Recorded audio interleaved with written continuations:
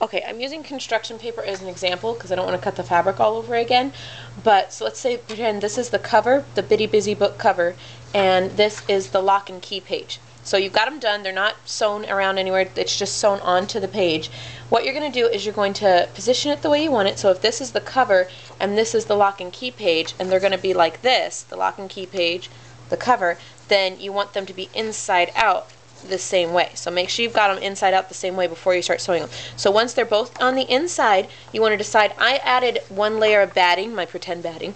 I added one layer of batting to each side and it's just low loft batting. It's not very thick batting. So I added one layer to each side and then make sure that you pin it because if you have any bulky stuff on your page in between it can make it off. So make sure you pin it so that all of the lines are even not so that it's as flat as you can get it or whatever. You need all the lines to be even.